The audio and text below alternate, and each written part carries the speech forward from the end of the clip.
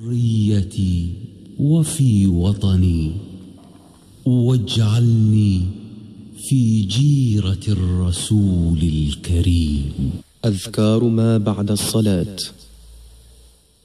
عن ثوبان رضي الله عنه قال كان رسول الله صلى الله عليه وسلم إذا انصرف من صلاته استغفر ثلاثا وقال اللهم أنت السلام ومنك السلام.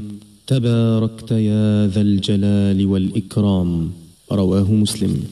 ثم يقول سبحان الله ثلاثا وثلاثين.